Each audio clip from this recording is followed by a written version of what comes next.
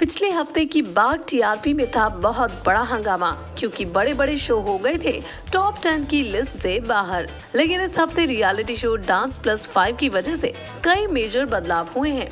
तो आइए, इस हफ़्ते की टीआरपी रिपोर्ट में क्या है, ये हम आपको बताते हैं। तो आइए शुरू करते हैं छियालीसवें हफ़्ते की बाघ टीवी टीआरपी रिपोर्ट। इस हफ़्ते की टीआरपी लिस्ट में नंबर 10 के पायदान पर खिसक आया है द कपिल शर्मा शो। जी हाँ कपिल का ये शो वैसे तो काफ़ी वक्त से अच्छा परफॉर्म कर रहा था, लेकिन पिछले हफ़्ते के मुकाबले इस वीक इसकी टीआरपी पर असर पड़ा है और इस हफ़्ते ये शो टॉप टेन की लिस्ट से बाहर जाते जाते बचा। खैर, अगर नंबर नौ की बात करें तो यहाँ हो रहे हैं बिग बॉस के चर्चे। जी हाँ पिछले वीक तो ये शो टॉप टेन में शामिल नहीं था, लेकिन अब फाइनली बिग बॉस ने टॉप टेन के चार्ट में अपनी जगह बनाई है। हालाँकि अगले हफ़्ते क्या आलम रहेगा, ये देखने वाली बात होगी। अगर बात करें नंबर आठ की तो इस पोजीशन पर है अमिताभ बच्चन का कौन बनेगा करोड़पति। नंबर सात की अगर बात करें तो रेमो डिसूजा के रियलिटी शो डांस प्लस ने पहले ही हफ़्ते में धासु एंट्री मारी है।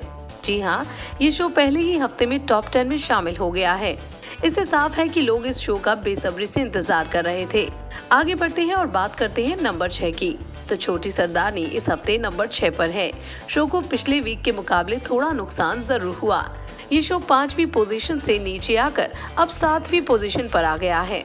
नंबर पाँच की अगर बात करें तो नंबर पाँच पर है कार्तिक नायरा के रिश्ते की कहानी। ये रिश्ता क्या कहलाता है? हालाँकि इस शो को टीआरपी के मामले में पहले के मुकाबले थोड़ा नुकसान हुआ। ये शो लास्ट वीक नंबर चार पर मौजूद था। नंबर चार की अगर बात करें तो यहाँ मौजूद है तारक मेहता का उल्टा चश्मा।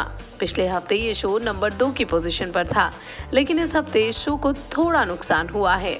नंबर तीन की अगर बात की जाए तो स्टार प्लस का शो ये जादू है जिन का ये शो नंबर तीन पर है। आपको बता दें, ये शो हाल ही में शुरू हुआ है, लेकिन शो को शुरुआत से ही टॉप टेन में जगह बनाने में कामयाब हुआ।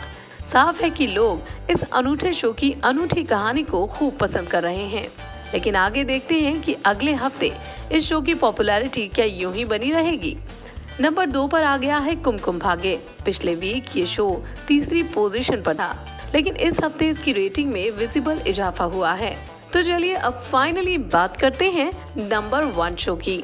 तो जनाब, इस हफ़्ते का नंबर वन शो है कुंडली भाग्य। जी हाँ इस शो में एक्ट्रेस श्रद्धा आर्या और एक्टर धीरज धूपर की जोड़ी को लोग खूब पसंद कर रहे हैं और ये शो लगातार नंबर वन की पोजीशन पर कायम हो रहा है। तो ये है इस बार की बाग टीवी रिपोर्ट। अगले हफ़्ते हम आपके लिए एक बार फिर से ऑनलाइन टीआरपी और बार की टीवी टीआरपी लेकर हाजिर होंगे। तब तक के लिए गुड बाय।